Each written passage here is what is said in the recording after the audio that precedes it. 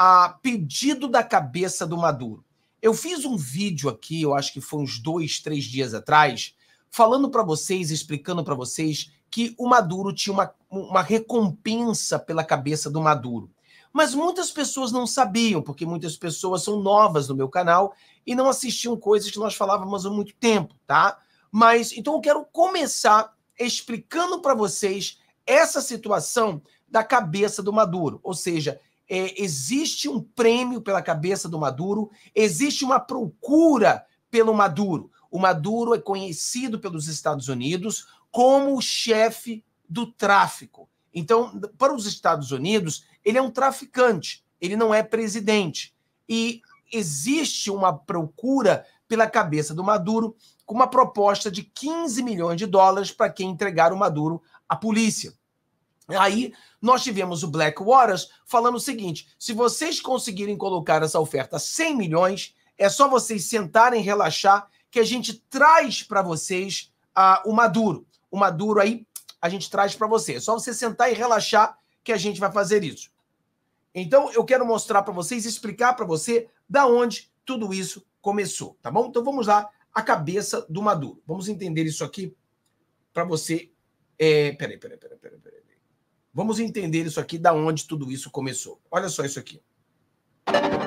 El Departamento de Estado de Estados Unidos anunció una recompensa de hasta 15 millones de dólares por información que lleve al arresto o procesamiento de algunos ciudadanos venezolanos, incluyendo al presidente Nicolás Maduro, a quien Washington quiere lejos del poder. A través de Twitter, Mike Pompeo dijo que también ofrecerán recompensas a exfuncionarios del gobierno de Maduro, responsables del tráfico internacional de narcóticos. Además, el Ejecutivo estadounidense ofrece 10 millones por otras tres importantes figuras venezolanas, el vicepresidente presidente económico Tarek El Aizami, el ex general venezolano Hugo Carvajal y el ex jefe militar Liber Alcalá Cordones. Estados Unidos inculpa al presidente de Venezuela Nicolás Maduro por narcoterrorismo y es acusado de haber participado en una asociación criminal que involucra a una organización terrorista extremadamente violenta, las Fuerzas Armadas Revolucionarias de Colombia, en un esfuerzo por inundar Estados Unidos de cocaína. Então, aqui, pessoal, esse vídeo rápido aqui, uma demonstração para você que esse pedido pela cabeça do Maduro foi feito com o presidente Donald Trump. E qual era o jogo? Aqui você vê eles analisando. Isso aqui foi um vídeo que depois eu posso mostrar para vocês, um vídeo em inglês, aonde encontramos esse jornal aqui é, espanhol, mostrando as análises de que a jogada do Maduro era inundar, inundar os Estados Unidos com drogas para destruir os Estados Unidos de dentro para fora.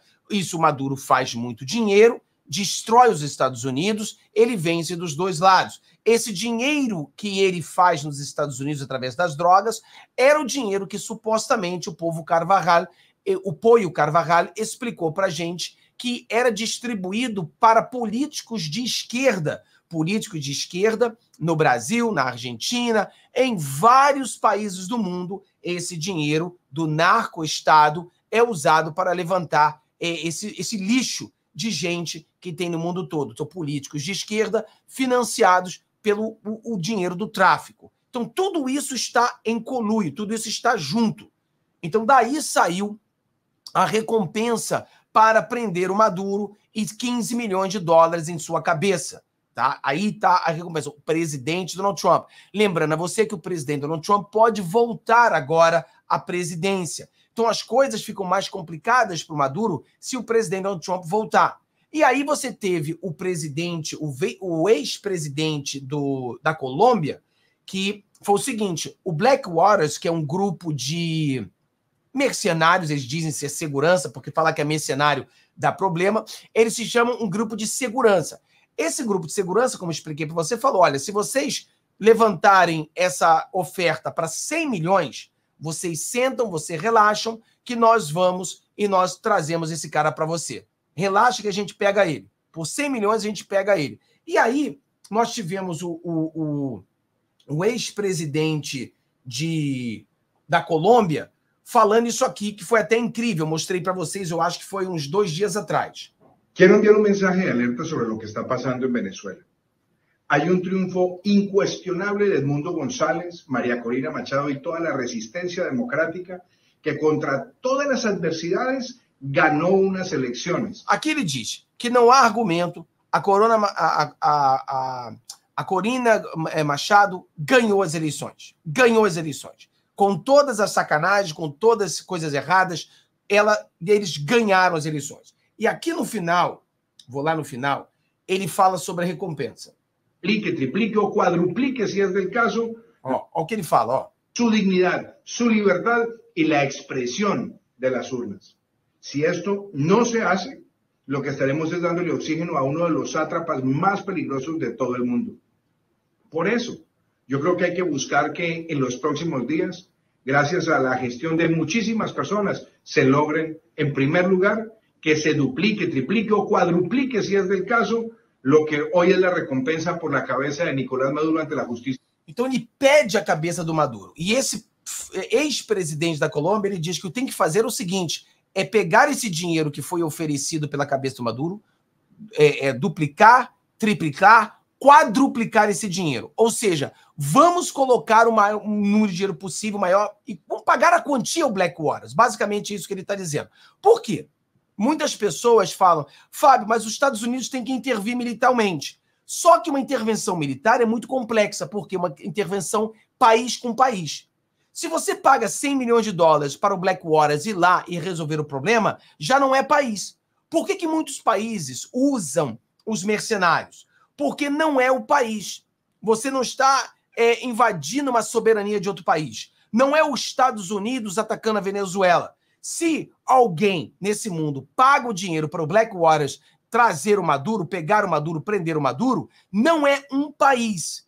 Não é um país, é um indivíduo que ele está indo lá fazer isso. Então isso não vai criar uma guerra, não vai criar problemas internacionais, nada. Então é essa a jogada. Então eles querem a cabeça do Maduro. Seria sensacional se isso acontecesse. Seria sensacional que alguém pagasse para que isso acontecesse. Não sabemos se vai acontecer. O nosso trabalho é trazer a vocês as informações que são dadas para você entender. Ah, agora eu entendo, Fábio. Então foi lá na época do presidente Donald Trump que o Maduro estava infiltrando drogas para os Estados Unidos e por isso que botaram os 15 milhões na cabeça dele. Agora já falaram se pagar 100 milhões, eles vão lá e pegam ele. Então isso aí para você entender a jogada que tem, que é onde o Maduro ele pode ser caçado a qualquer momento. Agora vamos lá na entrevista que a que a Corina Machado ela teve com o presidente da Costa Rica. Isso aqui é muito importante porque isso aqui é onde levanta o povo da Venezuela e deixa o Maduro sem saída. Porque essas entrevistas, e ela já fez mais uma entrevista que eu não mostrei para você ainda. Então ela está começando a fazer entrevista para o mundo inteiro observar o que ela está dizendo, deixando o Maduro cada vez mais é, com as costas na parede.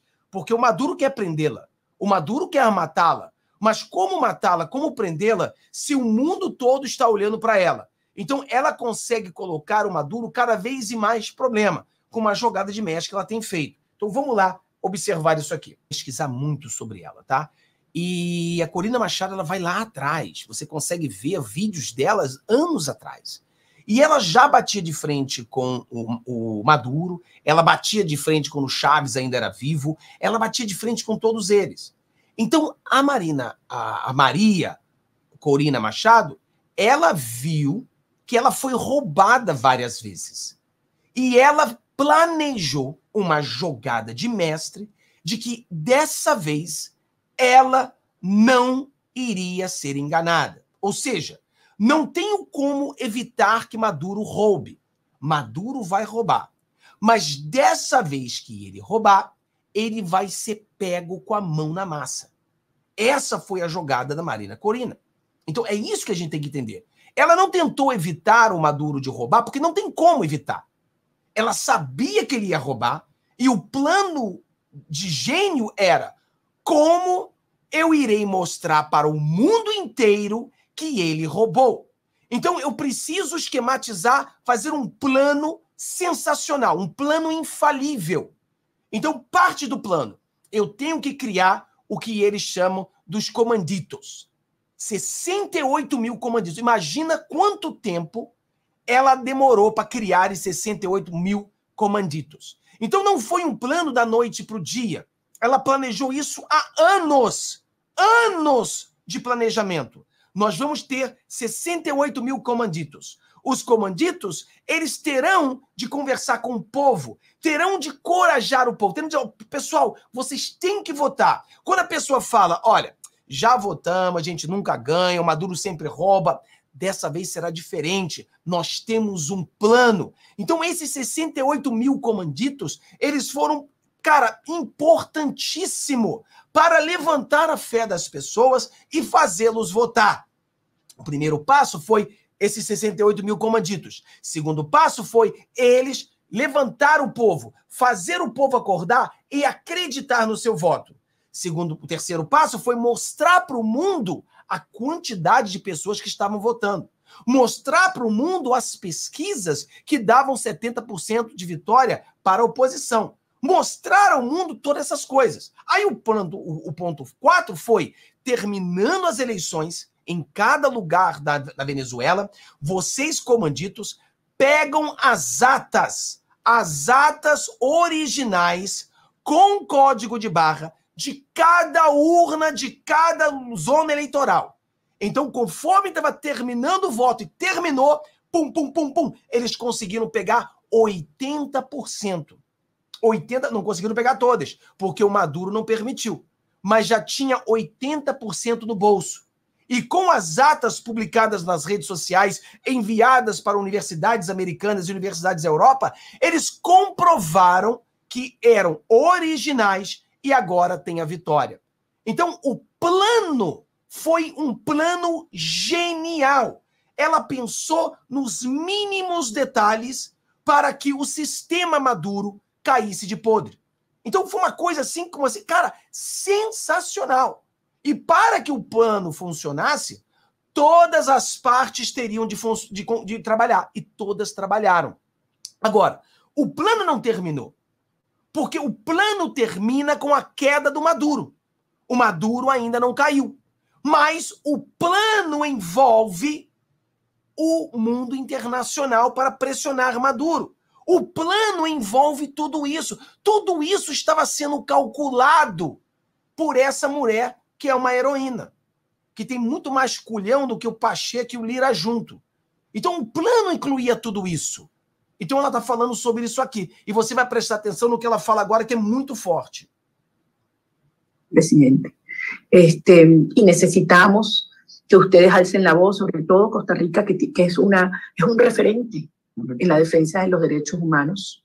Precisamos que vocês da Costa Rica nos ajudem a lutar contra esses abusos né, dos direitos humanos. Para que pare esta locura y para que el régimen entienda que su única opción es aceptar los términos de una transición negociada y que estamos dispuestos a negociar, pero partiendo del reconocimiento del resultado que inequívocamente, irrefutablemente, le dio la victoria a, como nuevo presidente Edmundo González. Así que mucho... o, o Maduro tem que entender que ele não tem outra opção senão negociar.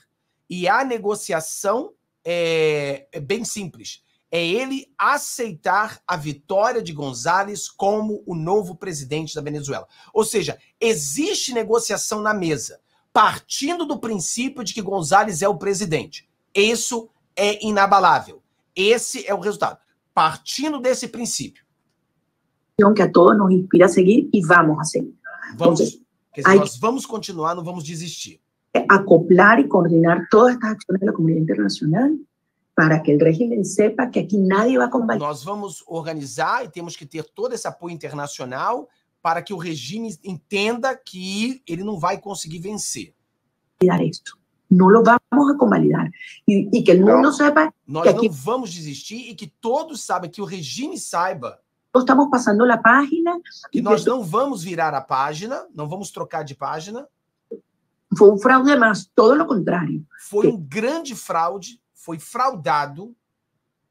Ganamos este, el, el domingo, ganamos el lunes demostramos. Ganhamos no domingo, também ganhamos na segunda-feira. Ganhamos no domingo nas eleições e na segunda-feira ganhamos mostrando para o mundo que eles tentaram fraudar, que eles fraudaram. Provamos que eles fraudaram. el fraude y ahora vamos a E, e agora nós vamos obligar al régimen que lo único que le queda Como... Nós vamos mostrar ao regime que a única coisa que falta, a única coisa que eles ainda têm do lado deles é um número de militares muito reduzido. É um número de militares muito reduzido. Olha o que ela está falando. Que a única coisa que o Maduro tem agora nas suas mãos, do seu lado, é um número de, de militares muito reduzido. Mano, o único que ele quer. É o único que ele tem. A única coisa que sobrou para ele.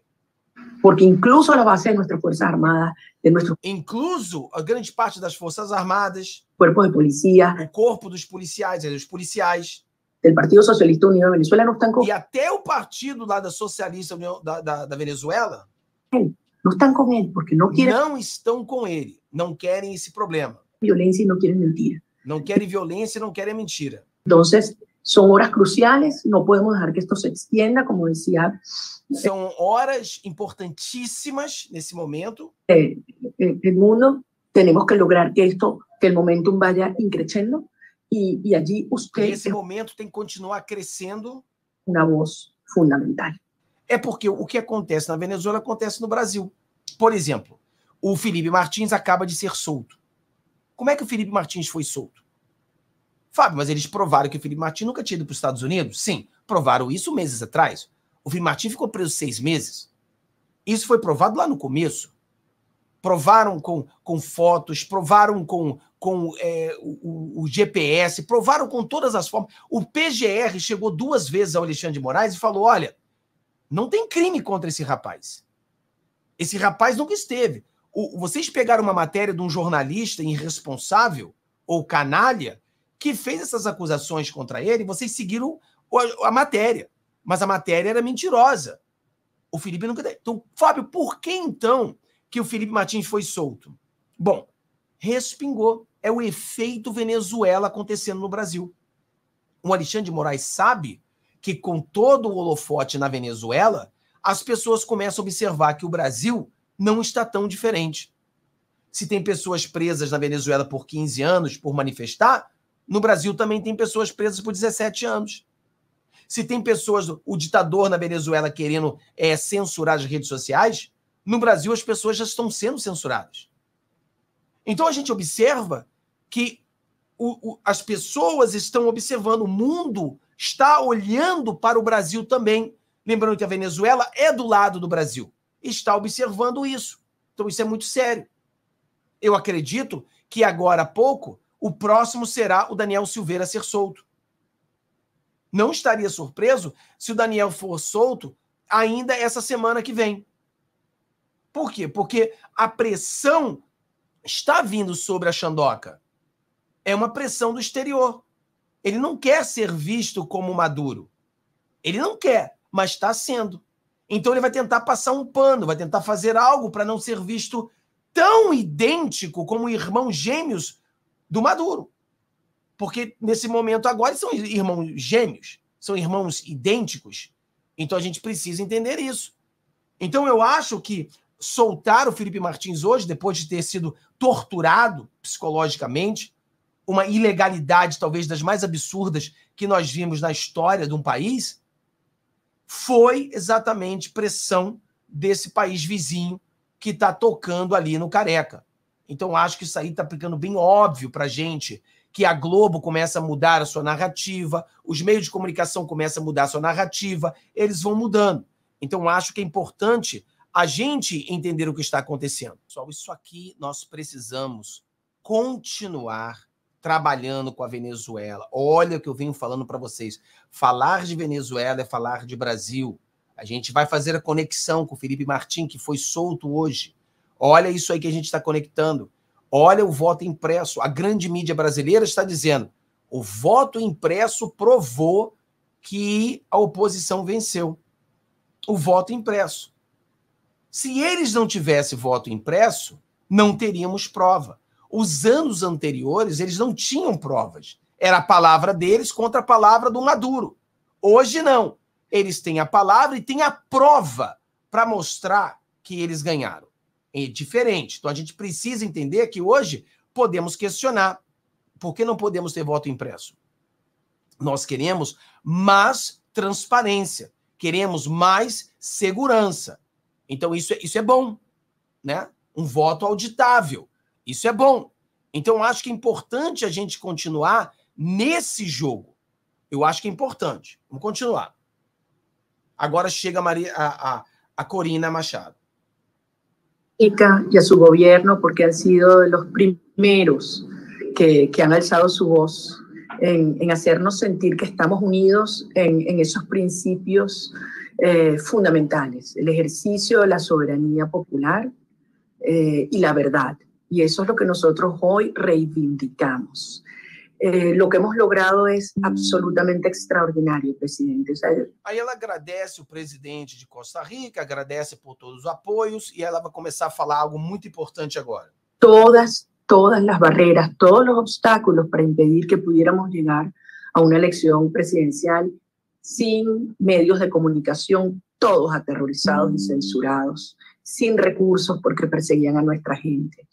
No nos permitían organizar eventos porque se llevaban presos a quienes nos alquilaban el camión o el sonido o los cerraban los hoteles o los restaurantes. O sea, fue una carrera de obstáculos, pero logramos unir um país. Aí ela explica, né? Ela explica a todas as dificuldades que ela teve, todas, a, a, tudo, porque a fraude na Venezuela, pessoal, ela foi impedir os opositores, né?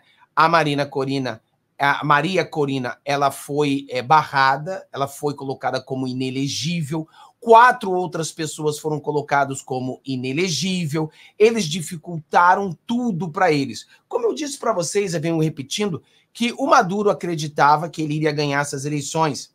Então ele só dificultou para a oposição. Ele tirou a pessoa mais popular, ele tirou os outros mais populares. Você pode ver que o Gonçalves é um cara que não consegue nem falar direito, né? Ele não tem muita emoção, mas ele só ganhou as eleições porque a Corina Machado transferiu os votos a ele. Seria o caso do presidente Bolsonaro, se continuar inelegível, ele transferir o voto, por exemplo, para o Tarcísio, que não ganharia sem o Bolsonaro, mas com o Bolsonaro certamente ganharia. Então, acho que é mais ou menos a mesma coisa aconteceu. Então, a fraude não foi somente ele roubar as urnas e dizer que ele ganhou. A fraude começou pela dificuldade que ele colocou na oposição. A, a eleição não era justa. Era só um lado que podia fazer as coisas, o outro não. Tá? Então, ela, ela mostrou que as dificuldades